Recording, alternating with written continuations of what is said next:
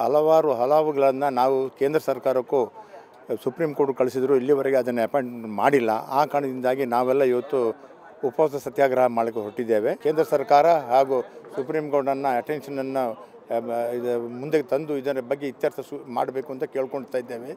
ಈಗ ಇದು, ಈಗ ಸು ಕೇಂದ್ರ ಸರ್ಕಾರ ಹಾಗೂ ಸುಪ್ರೀಂ ಕೋರ್ಟ್ ಇದರ ಬಗ್ಗೆ ಇತ್ಯರ್ಥ ಮಾಡಲಿಲ್ಲ ಅಂದರೆ ನಾವು ಇನ್ನೂ ಘೋರತರವಾದ ಮುಷ್ಕರವನ್ನು ಮಾಡಲಿಕ್ಕೆ ಹೊರಟಿದ್ದೇವೆ.